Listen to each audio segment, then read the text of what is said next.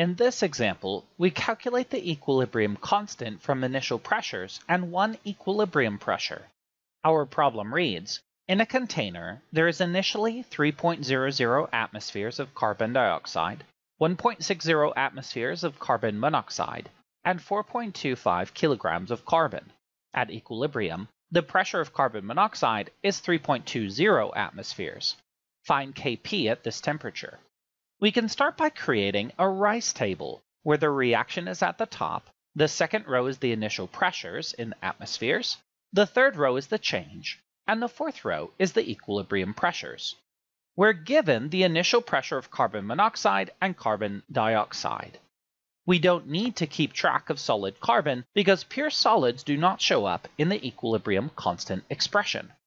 We're also given the equilibrium pressure of carbon monoxide. This allows us to determine the direction the reaction shifts to reach equilibrium. Since the equilibrium pressure of our product, carbon monoxide, is greater than its initial pressure, we know the reaction shifted to the right, producing more product, to reach equilibrium. So the change is negative x for carbon dioxide and positive 2x for carbon monoxide. The 1 and 2 coefficients before x come from the coefficients in the balanced chemical equation. If we add together the initial and change rows, we will get the equilibrium row. So at equilibrium, we have 3.00 minus x as the pressure of carbon dioxide. Now we can solve for x using the column for carbon monoxide.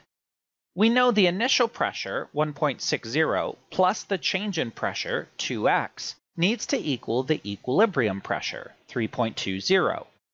Solving for x, we get 0.800 atmospheres. Now we can solve for the equilibrium constant Kp.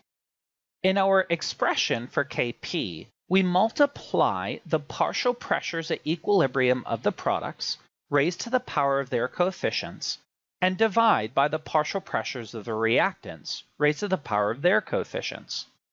Our expression ends up being the partial pressure of carbon monoxide squared divided by the partial pressure of carbon dioxide. Plugging in the values from our equilibrium row, we get 3.20 atmospheres squared divided by 3.00 minus 0.800 atmospheres. This equals 4.65, which is our value of Kp.